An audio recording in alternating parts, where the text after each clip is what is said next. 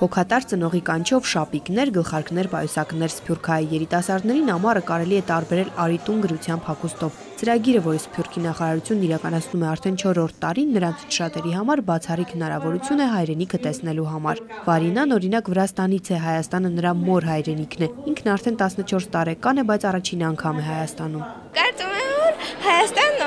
շատ լավ ու սիրուն տեղ է Իննամյանին Արիտուն ծրագրի ամենակրտսեր մասնակիցներից է Հայաստանում էլի է եղել, բայց այս անգամ ավելի շատ սպասելիքներ ունի։ Ես Պերմից եմ եկել, եկել եմ որ հանգստանամ, սիրուն տեղեր տեսնեմ։ 180 պատանիներ, աղջիկներ ու երիտասարդներ 10 երկրից Վրաստանից մինչև Միացյալ Նահանգներ։ Նրանք երկու շաբաթ կապրեն հայ ընտանիքներում, կծանոթանան Հայաստանի պատմությանը, մշակույթին, հասարակական կյանքին, հոգևոր եւ ընտանեկան ավանդույթներին։ Ես ինքս էլ տարիներ առաջ հյուրընկալել եմ ֆրանսիական ընտանիքի, Հայաստանն իմ բարեկամն է ծրագրով եւ ցանկացա շնորհակալությունս այդպես հա, հայտնել եւ հայրենասիրությունը ինչպես իմ մեջ առաջացավ այնտեղ գտնվելիս, նույնը ցանկանում էի Արմինեի մեջ առաջացնել։ Շատ հյուրընկալ ընտանիք, մենք շատ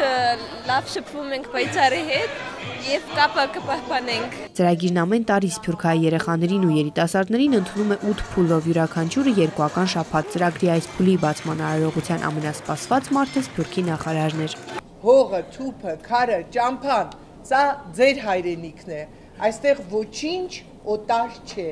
Եվ դուք արդեն երևի զարմացել եք ու